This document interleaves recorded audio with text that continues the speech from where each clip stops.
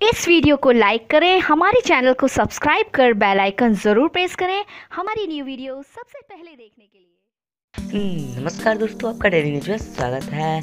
India और New Zealand करारी हार के बाद तीसरे वनडे में तीन खिलाड़ियों को कर सकते हैं बाहर। ईडन का ईडन पार्क ऑकलैंड में खेले गए दूसरे वनडे मुकाबले न्यूजीलैंड ने भारत को 22 रनों से हराकर तीन वनडे मैचों में दो ज़ीरो से अजय अजय बढ़त बना ली है। न्यूजीलैंड ने पहले बल्लेबाजी करते हुए निर्धारित 50 ओवर में दो रनों बनाए, जबकि जवाब में भारतीय टीम ने अड़तालीस तीन ओवर में दो सौ इक्यावन रन बनाकर ऑल आउट हो गई। अब दोनों टीमों की जगह तीसरी आखिरी वनडे मुकाबले में 11 फरवरी को सुबह साढ़े सात बजे से ओवर माउंटेन, माउंट ग्राउंड में खेला जाएगा।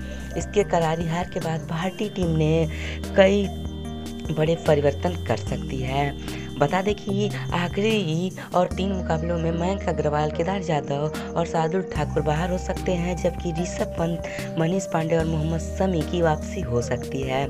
पहले खेले गए दोनों मुकाबले में पृथ्वी शाह और मयंक अग्रवाल ने जोड़ी सफल नहीं रही। इसीलिए तीसरे वनडे मुकाबले में पृथ्वी शाह के राहुल ओपनिंग करते कर सकते हैं, वहीं ऋषभ पंत नंबर पाँच पर खेल सकते हैं, वहीं विकेट कीपर कीपिंग कर सकते हैं, क्योंकि ओपनिंग करने के लिए के राहुल के लिए विकेट कीपिंग करना आसान नहीं होगा।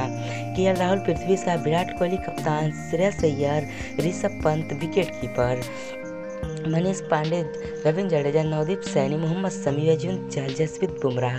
ऐसे भारतीय टीम के प्लेयर खेल सकते हैं। अगर हमें वीडियो अच्छी लगी हो तो लाइक कमेंट और शेयर करना ना भूलें। नई वीडियो पाने के लिए चैनल को सब्सक्राइब करना भी ना भूलें।